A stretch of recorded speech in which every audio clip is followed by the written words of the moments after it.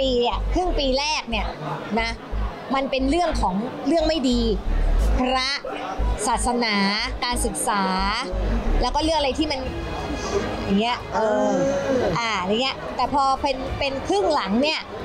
การค้าขายมันก็จะดีขึ้น แค่ต้นปียังขนาดนี้นะ ปลายปีหนักกว่านี้อีก เดี๋ยวมีเดี๋ยวมีมาเรื่อยๆเดี๋ยวเราเพราะว่าเพราะว่ามีการเอ่อ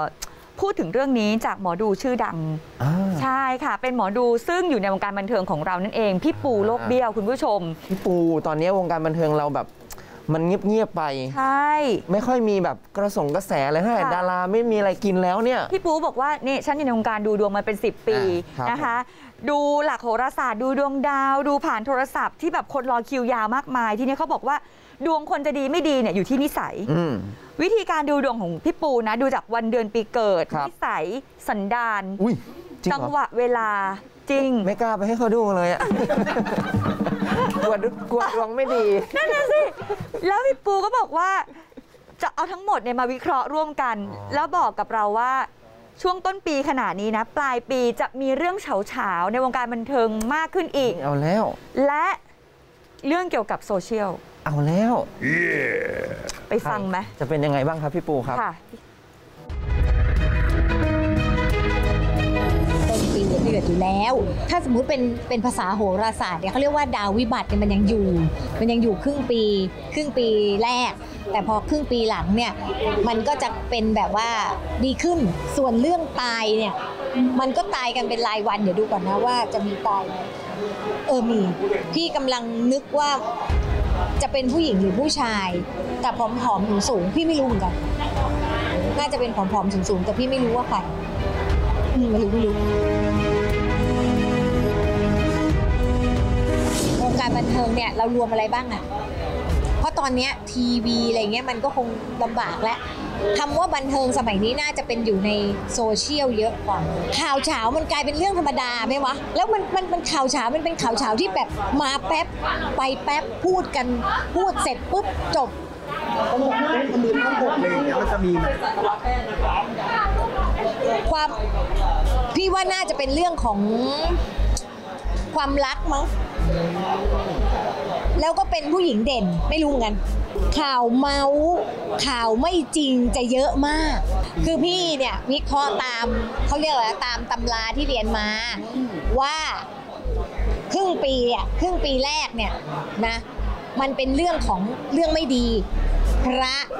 ศาสนา การศึกษา แล้วก็เรื่องอะไรที่มัน อย่างเงี้ยเอออ่าอย่างเงี้ยแต่พอเป็นเป็นครึ่งหลังเนี่ยการค้าขายมันก็จะดีขึ้น การสื่อสารจะดีขึ้น การเดินทางก็จะดีขึ้นอ่าแต่ถามว่าเรื่องไม่ดีคืออะไรคือเรื่องการพูดคำพูดที่จะกลายเป็นไม่ดีเป็นเรื่องร้ายต้องให้ระวังทุกคนเลยนะ ไม่ใช่เฉพาะในวงการบันเทิงนะอืมและอย่าลืมว่าโซเชียลเดี๋ยวนี้ไวมาก เร็วมากทำให้เกิดปัญหา แม้แต่บางทีพูดกันกระทบนิดเดียวก็ตายได้อย่างเงี้ยอืมอุ๊ยจริงเหรอน่ากลัวเหมือนกันนะก็พี่ปูก็ได้ผมว่าชี้ดาวชี้เป้าว่าจะมีการสูญเสีย ผอมสูงอืมแล้วก็บอกว่าผู้หญิงเด่นดาววิบัติยังอยู่ แต่ว่าตอนบอกว่าวิบัตินี่หันไปใส่หน้าของเหยี่ยวข่าวเราด้วยนะเนี่ยค่ะน้ำพริกของเราก็เห็นพี่น้ำพริกเนี่ยผู้สื่อข่าวของเราก็บอกว่า เมื่อไหร่หนูจะมีแฟน พี่ปูพี่ปูว่าบอกว่าอะไร ปีนี้ นี่ไงเห็นข่าว พี่ปูบอกว่าข่าวเฟกนิวจะเยอะขึ้นอ๋อ นี่ไงก็พี่ปูก็ให้เฟกนิวกับน้ำพริกไปแล้วหนึ่งปอจะต้องให้ความหวังเขาจะไปดับฝันเขาเขาสวยเนี่ยเนี่ยยืนตรงนี้คุณผู้ชมน้ำพริกนะตากล้องมองกันเป็นแถบเลยนะครับ ใช่ค่ะมองด้วยความเกลียดชัง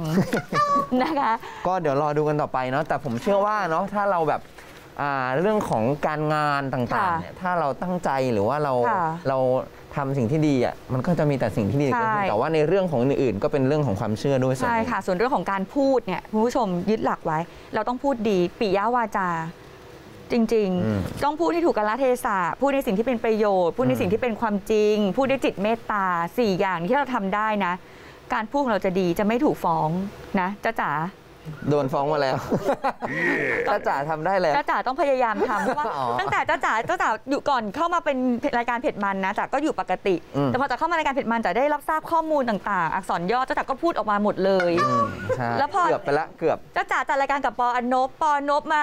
จับพูดกับปอปอนบเอามาแฉหน้าจอหมดเลยปอนบผู้ซึ่งไม่มีปิยวาจานะครับผม ปอนบต้องมีนะอ่าปอนบเราจะต้องถ้าปอนบติดคุกเดี๋ยวเจ้าจ๋าจะไปเยี่ยมปอนบอย่าเพิ่งถึงขนาดนั้นอ๋อเหรอไม่ต้องถึงอะเพชรมันบันเทิง